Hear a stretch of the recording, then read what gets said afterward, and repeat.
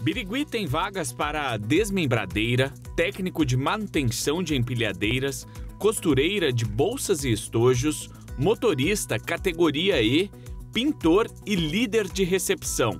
O telefone do PAT é o 18 3642 3778. Em Catanduva tem oportunidades para vendedor, frentista, pedreiro, confeiteiro e cozinheira. Para mais informações é só ligar no telefone 17 3522 1194. Já em Olímpia tem vagas para auxiliar de serviços gerais, roçador, farmacêutico, pedreiro e jardineiro. O telefone do pátio é o 17 3280 4944.